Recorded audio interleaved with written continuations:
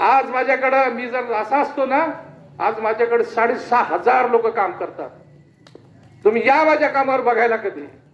आमदार साहेब तुम्ही माझ्या कामावर विजिट करायला यांना कधी दिल्लीला आलात आज ह्या सहा महिने झाले मी ह्या ठिकाणी आहे. आज एक दिवसही कामावर नाही गेलो. माझं काम व्यवस्थित चालते त्या ठिकाणी. माझे लोक व्यवस्थित काम करतात.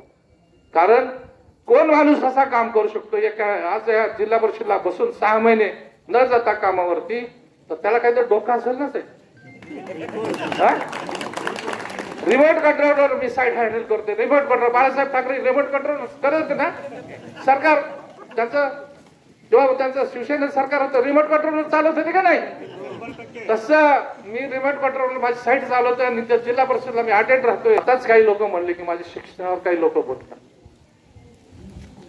साहेब माझं शिक्षण माझ्या घरणी येथे चौथी सातवीपर्यंत झालं आणि सातवी नंतर या ठिकाणी मी विद्यावर्धीना हायस्कूलला ऍडमिशन घेतलं. कारण खेड्यामध्ये मला तेवढं मला शिकायला मिळत नव्हतं कारण कॉप्या करून पास होत होते आमचं आणि कॉप्या करून फर्स्ट नंबर काढतो आणि मी किती जरी अभ्यास केला तरी का ब्राह्मणाच्या मुलाला त्यांनी पहिला नंबर काढायचे आणि मला दुसरा नंबर काढायचे. आणि मी एवढा अभ्यास करायचो टॉपर राहायचं साहेब. रिअली सांगतो खोटं नाही बोलत बरं का.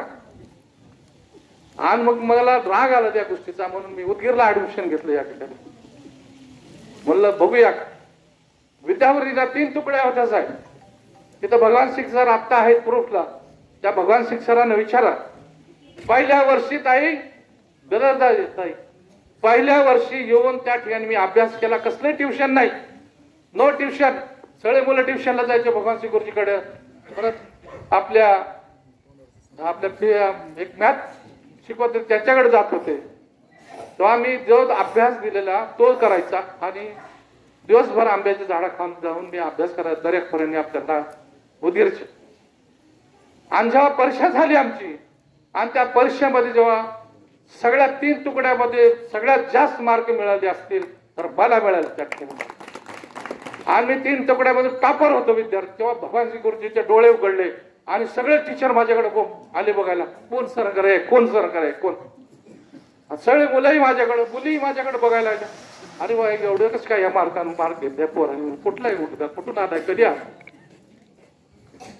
तर साहेब यांना मी सांगू इच्छिते ह्या काँग्रेसवाल्या तिथलं शिक्षण कंप्लीट झाल्यानंतर मी उदयगिरीला ऍडमिशन घेतलं. कारण मला डॉक्टर किंवा इंजिनियर व्हायचं माझं स्वप्न होतं.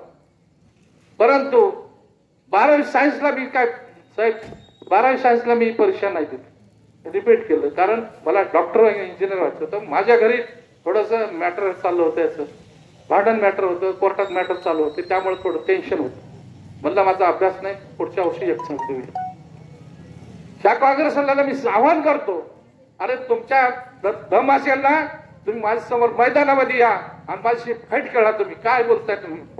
माझ्या शिक्षणावरती मी एल बी आहे. कोण म्हणते मला नाही कोण म्हणते बिस्ता नाही. आज माझ्याकडं मी जर असा असतो ना आज माझ्याकडे साडेसहा हजार लोक काम करतात. तुम्ही या माझ्या कामावर बघायला कधी? आमदार साहेब तुम्ही माझ्या कामावर विजिट करायला या ना कधी दिल्लीला आलात? आज ह्या सहा महिने झाले मी ह्या ठिकाणी आहे.